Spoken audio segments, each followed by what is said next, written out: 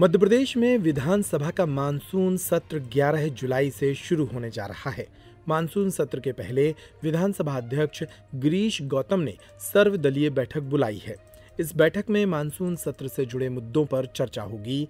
इसमें सत्ता पक्ष और विपक्ष के नेता भी शामिल होंगे। ये बैठक 10 जुलाई, यानी कि शाम को आयोजित की गई है। बता दें कि मध्य प्रदेश विधानसभा का मानसून सत्र 10 जुलाई से प्रारंभ होने वाला था, लेकिन सरकार की, लेकिन सरकार की लाडली बहना योजना के दूसरे माह की किश्त कार्यक्रम के चलते 10 जुलाई को सरकार की ओर से विधानसभा का मानसून सत्र 11 जुलाई से बुलाने का प्रस्ताव भेजा गया था। इसलिए इसे बदलकर 11 जुलाई से आयोजित किया गया है।